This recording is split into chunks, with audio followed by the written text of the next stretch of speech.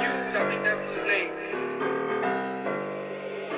AOT, run that shit up. Run that shit up. Run that shit up.